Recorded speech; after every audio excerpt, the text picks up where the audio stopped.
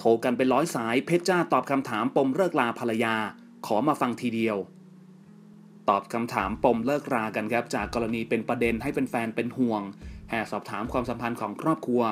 อย่างดีเจเพชรจ้าและนิวเคลียร์หันษาเพราะไม่เห็นโมเมนต์หวานด้วยกันเหมือนเมื่อก่อน ทั้งยังมีการระบุแหล่งข่าวว่ามาจากคนใกล้ชิด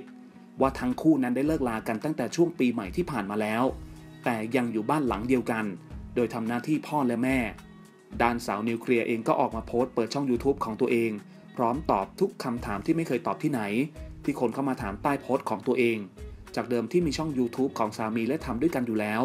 พร้อมทั้งฟาดกับคนที่บอกว่าสร้างกระแสเรื่องนี้ เพื่อโปรโมท YouTube ว่า ใครจะเอาเรื่องแบบนี้มาโปรโมทขณะที่สามีอย่างเพชรจ้านะครับเคลื่อนไหวช่วงค่ำวันที่ 6 มิถุนายน 64 โพสต์อยู่กับรถสุดเท่ แล้วก็ได้โพสต์คลิปขับรถกินลม ทำกลางแฟนคลับและชาวเน็ตนั้นเข้ามาคอมเมนต์ภาวนา อย่าให้ข่าวเรื่องเลิกลาเป็นจริง และยังบอกด้วยว่าเจ้าตัวดูเศร้าๆเงาๆมาก ขณะที่มีทีมข่าวบันเทิงหนึ่งนะครับได้ติดต่อไปยังดีเจเพจ้า ซึ่งเจ้าตัวได้ให้สัมภาษณ์ถึงประเด็นนี้ว่า ตอนนี้ยังไม่สะดวกที่จะให้สัมภาษณ์เกี่ยวกับประเด็นที่มีข่าวลือว่าเลิกลากับภรรยา รับมีคนโทรมาสอบถามเรื่องนี้เป็นร้อยสาย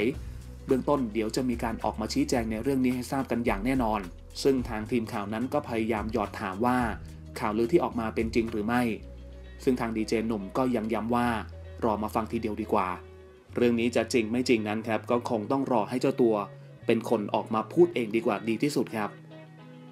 อีกหนึ่งช่องทางข่าวบันเทิงครับ ที่คุณจะสามารถติดตาม และอัปเดตข่าวสารไปพร้อม ๆ กันได้เลยนะครับ อย่าลืมกดติดตามชมซุปเปอร์สตาร์ดาราแล้วก็อย่าลืมเข้ามาติชมหรือคอมเมนต์มาร่วมแชร์ร่วมแสดงความคิดเห็นกันได้เลยนะครับ ที่สำคัญครับต้องขอกราบขอบพระคุณทุกท่านมากๆด้วยครับ ที่เสียสละเวลาในการติดตามรับชมรับฟังกันด้วยครับ